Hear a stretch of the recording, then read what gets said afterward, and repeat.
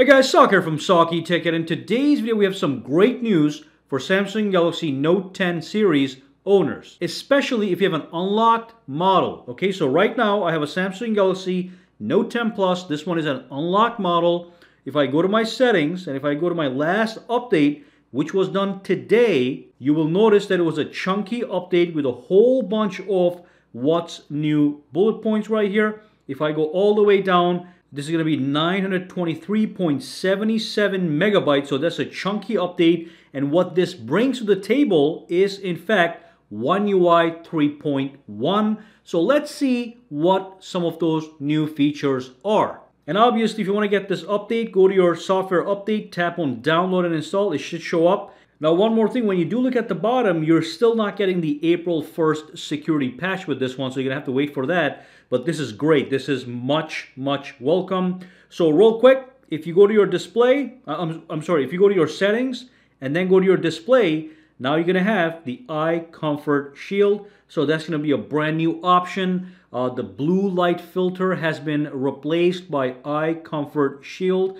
Mostly it's a rebranding of that feature. So that's number one. Now if you go out and if you go to the camera and if you go into the single take feature, we now have the ability to configure the single take with an arrow right here. If I tap on this one, I can choose the type of shots to capture when I'm performing a single take capture. So I can disable highlighted videos, uh, disable portraits, and only choose to capture these options that are selected. And of course, uh, I can tap this again. And at the bottom here, we are able to choose between various different timelines, which was already part of the uh, phone. Now, also, if you go all the way to the end, under more, you are going to see that the live video and the live photo have been renamed to portrait and portrait video, as you can see. So that is great as well. And looks like we have a brand new AR Doodle functionality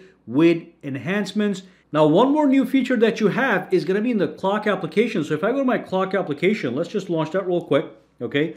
Uh, when I go to my alarms over here, when I tap on the three dots on the side, I have this set bedtime option. So this is a brand new alarm feature. You tap on this one and it's gonna allow you to keep your sleep on track as you can see. So get healthier sleep by going to bed and waking up at the same time every day. So when you tap on next, it is gonna allow you to actually set that schedule up. So look at that, sleep time, nine hours, from 10 p.m. to 7 a.m. That's just an example, but you can also change it as you can see, and you get a nice graphical representation. Uh, and then you tap on next over here, okay? And even turn on the bedtime mode that is going to change the screen to grayscale, mute calls, alerts, blah, blah, blah. Basically, it's going to make sure that you are able to go to sleep uh, uninterrupted by uh, going crazy with your phone and you get a reminder 15 minutes before you're about to sleep to let you know that it's bedtime, relax, go to sleep, stop wasting time on social media. And here's the remainder of that whole thing so you can set the days you want to use this alarm sound, vibration, snooze, tap on done. And now you are going to have this bedtime schedule as you can see and the grayscale mode just turned on because it is past my bedtime as you can see. Okay, so that's great. We're going to turn this off for now, but you can only tap this and you can edit this as you please. Nice, beautiful graphics. Okay, another new feature. That is great. Now, also under settings, we have another thing under advanced features. When I go to advanced features, you are going to see this brand new option that says continue apps on other devices. So what you can do is you can have a continuity going on between your phone and your Samsung tablet. So if you start something on this phone here using supported applications such as Samsung Internet, you can then transition over to your tablet seamlessly. You pick up your tablet, you tap on the application, and it's going to start exactly where you were left off right here on this phone. So that is in fact a powerful new feature as well.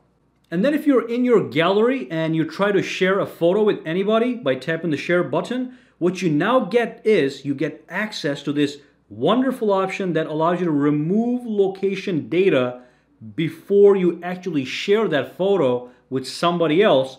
Because remember, every photo that you have on your phone has the location data saved inside it. So when you share that photo with somebody else, they can get your location where you took that photo, okay? It's great if it's between family members, but what if you send a photo to somebody that's not supposed to know your location? So when you tap on share now, it's gonna allow you to remove location data before you share the picture. Fantastic. Now beyond that, we don't have too many new 3.1 updates. Unfortunately, uh, this is not as advanced as the 3.1 that we have on the Samsung Galaxy S21 Ultra, but it does bring you a couple new features. You can see that we also have the Buds auto switching between phone and tablet.